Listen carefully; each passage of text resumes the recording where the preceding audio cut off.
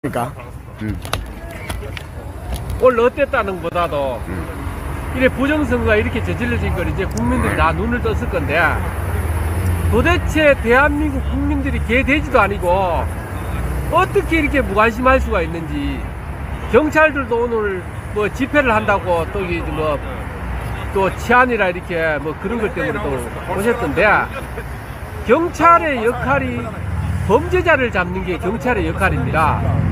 대한민국의 문재인 정권이 부정선거를 저질렀는데 경찰들이 전부 문재인 대가리를 잡으러 가야 되는데 지금 사이로 부정선거 시위하는 분들 그 안전을 얘기하고 와 있는 게 나는 좀 뭔가 이 말이 안 된다고 봅니다.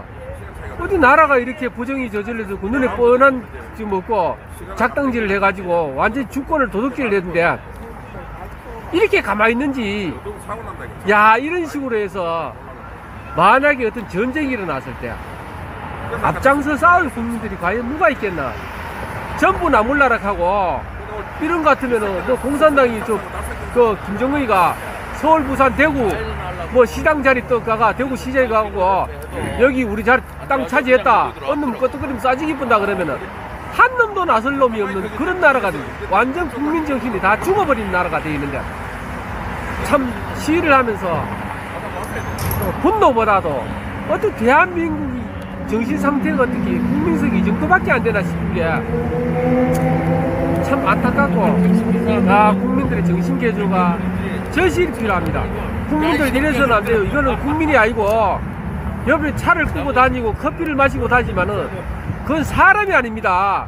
개 돼지보다 못합니다. 어디 개도 뭐 자기 먹이를 뺏어가면은 물라고 덤비는데 주권을 뺏어가는데 이런 무신경아 이러한 사람들이 있다는 게 나는 이게 사람들이 맞나 싶은 게 진짜 한심스러워요. 야 이게 진짜 국민이 맞는지 참 기가 찹니다. 솔직히 이런 나라에 이러한 국민성을 우리가 주권을 찾겠다고 시위를 한다는 것도 그렇죠. 우리 좋자고 하는 것도 아니고 대한민국이 올바른 사회가 되기 위해 가지고 우리가 이렇게 활동을 하는데 이런 국민들 같으면은 우리가 시위를 할 필요가 있겠나?